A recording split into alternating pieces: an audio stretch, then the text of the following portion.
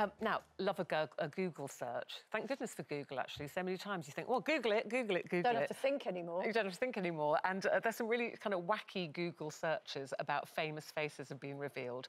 Uh, they include, what does the Queen do? Is Victoria Beckham actually posh? And Janet, he won't like this. Whatever happened to Elton John?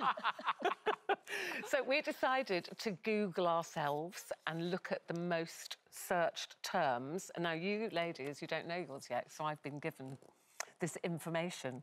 OK, so Janet, your most Googled questions are, is Janet Street Porter married? is Janet...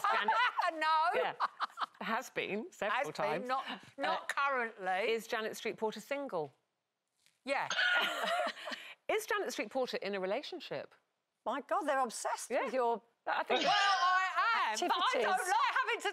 No. I feel like I'm under the spotlight. Right, what more for you? Is Janet Street Porter a vegetarian? No, but right. I do have vegetarian days before you all complain. OK, Brenda. Is Brenda Edwards single? Yes. Was Brenda Edwards on The X Factor? Yes. Who is Brenda Edwards' son? Famous son? Jamal. Jamal, yeah. That's OK. Jane. Oh. Is Jane Moore married? I thought everyone knew I was married. What is this? This is my favourite. This is my favourite. Was Jane Moore in the bill? and was Jane Moore married to Chris Evans? What? No, well, I think we'll find out Oh, yes, of course, Carol, Carol McGiffin. McGiffin. OK, and I've you've got, got mine. Here. I have to be allowed to see mine. Number one, is Ruth... is Ruth Langsford ill?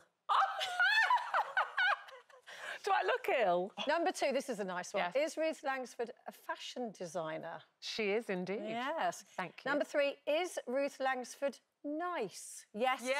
she oh, is, is thank the answer you very to much. that. Yes. Is Ruth Langsford on HRT? and the last Bioidentical one, hormones, actually, but similar Was thing. Ruth Langsford in the army? Right, come on, whip us into shape. Right. It's long way up, short way down.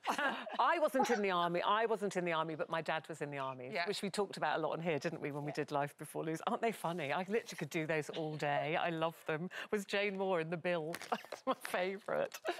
Oh.